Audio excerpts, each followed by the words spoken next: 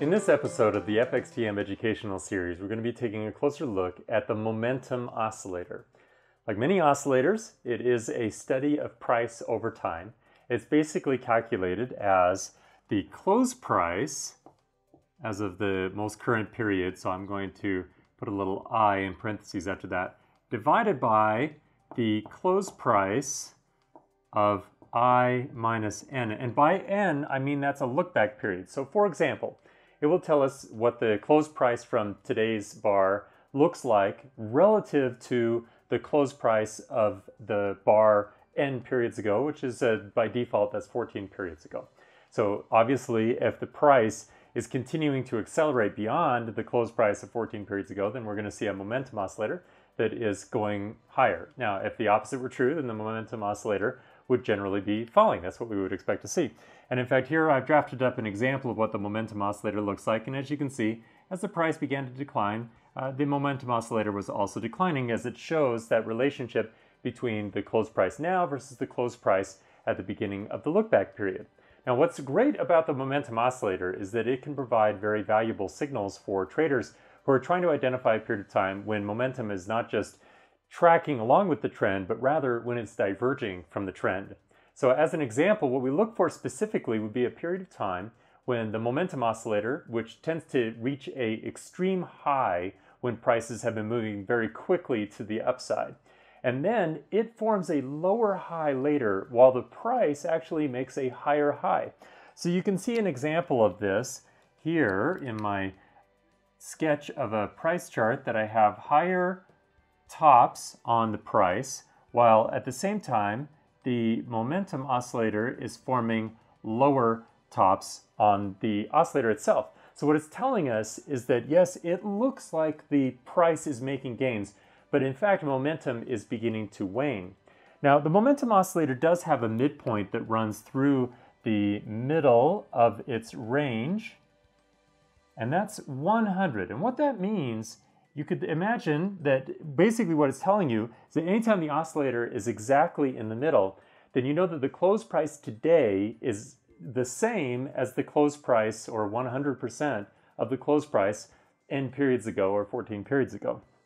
So as the price diverges and then the momentum oscillator crosses below that midpoint, that tells us something about a trading opportunity to the downside or certainly a indication that the market is losing momentum and bulls should be aware of a relatively high risk environment.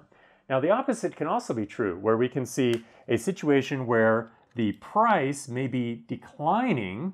So we can see these lower bottoms on the price, while at the same time, we have rising bottoms on the momentum oscillator. Now, what that's telling us is that bullish momentum is beginning to rise, which is good. That certainly may present opportunities for longs to enter the market or add to a position, or for shorts to consider the conditions of the market may be a little bit more adverse, uh, a higher risk. So this would be an important bullish indicator, especially as it crosses beyond this midpoint here at 100%, telling us something about the direction of momentum overall.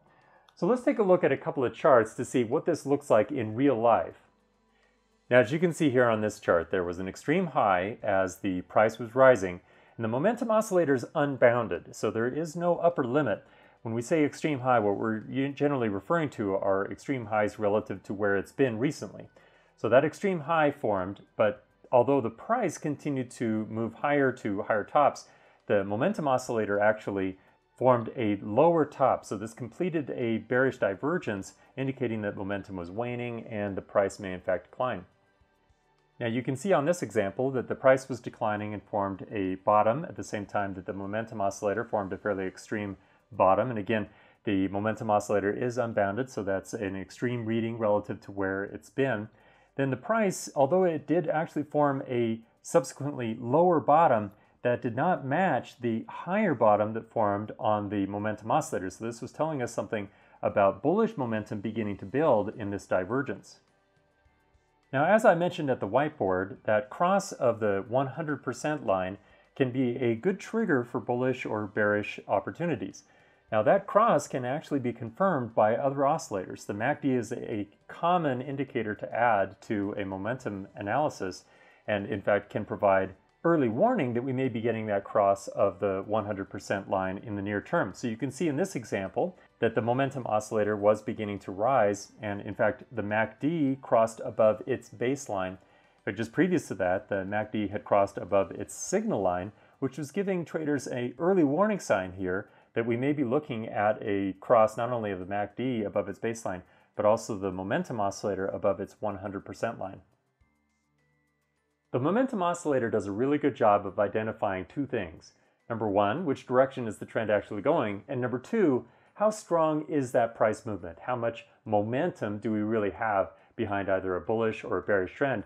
How likely is it that it may be running out of steam and even potentially reverse?